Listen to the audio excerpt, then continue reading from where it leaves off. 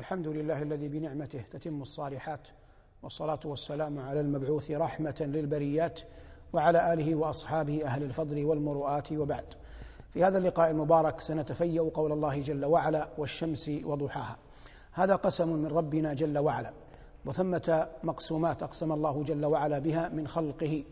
ولا ريب أن الله جل وعلا لا يقسم إلا بعظيم. وهذه السورة سميت بسورة الشمس. ومن عجب أن تعلم أن في القرآن سورة باسم سورة الشمس وسورة باسم سورة القمر وسورة باسم سورة النجم.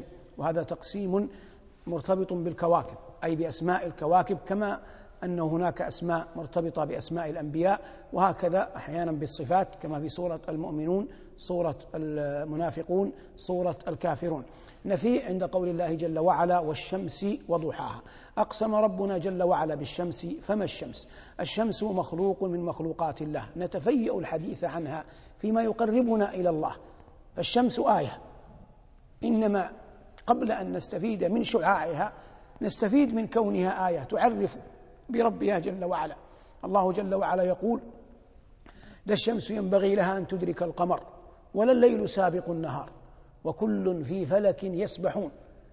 وأخبر جل وعلا أن هذا كله مسخر بأمره. تبارك اسمه وجل ثناؤه. والشمس آية عظيمة من آيات الله. ولهذا من عظم آيتها جاهل بعض بني آدم حالها فعبدوها. وقد قال الله جل وعلا عن خليله إبراهيم وهو يناظر قومه فلما رأى الشمس بازغة قال هذا ربي هذا أكبر فلما أفلت قال يا قوم إني بريء مما تشركون إني وجهت وجهي للذي فطر السماوات والأرض حنيفا وما أنا من المشركين. الشمس كتب الله لها عليها كتب الله عليها أمورا ثلاث أن تكسف وهذا وقع أو تخسف والمعنى واحد وقع في حياة نبينا صلى الله عليه وسلم. فقد كسفت الشمس في آخر حياته صلى الله عليه وسلم في اليوم الذي مات فيه ابنه إبراهيم. فظن البعض أن الشمس إنما كسفت لموت إبراهيم فحفاظا على جانب التوحيد في الأمة. قال صل قام صلى الله عليه وسلم خطيبا وقال إن الشمس والقمر آيتين من آيات الآية إن الشمس والقمر آيتان من آيات الله. لا يكسفان ولا يخسفان لموت أحد ولا ولا لحياته. وأخبر أنهما آية وأن الحال إنما يكون بأن يفزع المرء للصلاة. لكنك تلحظ أن خسوف الشمس شيء عارض. فلا تلبث أن تعود إلى حالها. وهي تستأذن ربها. وهذا الأمر الثاني. كل يوم.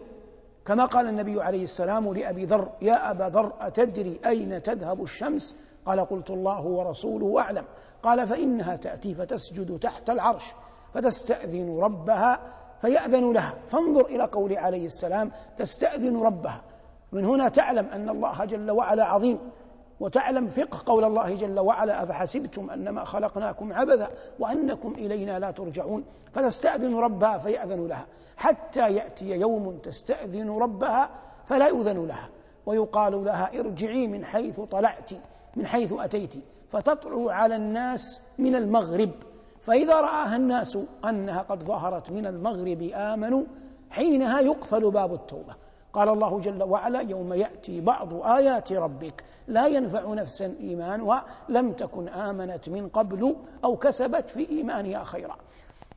الحالة الثالثة أنها تكور وهذا يكون عند قيام الساعة. قال الله جل وعلا إذا الشمس كورت وهذا هو الحال الثالثة. لكن جاء في السنة ما يدل على أن الشمس تؤوب. فهل هي هذه الشمس أم غيرها؟ العلم عند الله. فقد جاء في الأخبار الصحيحة عنه صلى الله عليه وسلم في ذكر أحوال يوم القيامة قال وتدنو منهم الشمس ويلجمهم العرق. أي في ذكر أخبار أحوال الناس. فقوله عليه الصلاة والسلام تدنو منهم الشمس ويلجمهم العرق. دليل على أن الشمس تظهر مرة أخرى. لكن كما قلت والله أعلم إن كانت هي شمسنا في الحياة الدنيا أو كان أو كان غيرها. والشمس كانت وما زالت يضرب بها الناس المثل في الجمال مقارنة مع القمر. لكن الشمس يقال تضرب مثل في الشيء الواضح. وكما تقول العرب في أمثالها براءة الذئب من دم ابن يعقوب لأن الذئب لم يتعرض ليوسف قط كذلك يقولون في أمثالهم براءة الشمس من اللمس براءة الشمس من اللمس.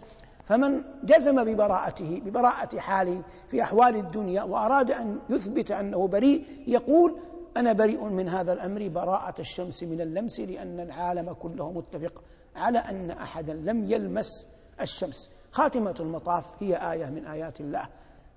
جعلها الله جل وعلا تدل على وحدانيته وعلى ربوبيته.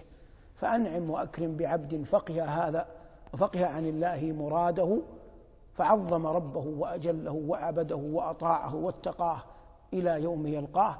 يسر الله لي ولكم سبل الهدى وصلى الله على محمد وآله والحمد لله رب العالمين.